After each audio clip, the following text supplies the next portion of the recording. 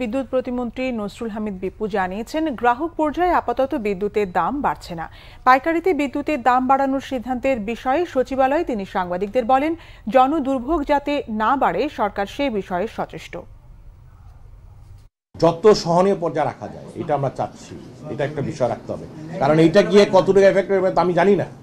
এখন বার্ক একটা ঘোষণা দিচ্ছে, আমরা তো চাই যাতে এইখানে কোনো রকম পরিবর্তন যাতে ওইরকম ভাবে না আসে, যেটা মানুষকে একটা ভোগান্তির অবস্থা আনে আমরা তো জান বুঝতে পারছি, আমাকে তো বিশেষ পরিস্থিতি আমাকে মেনটেন করতে হচ্ছে, ঠিক না?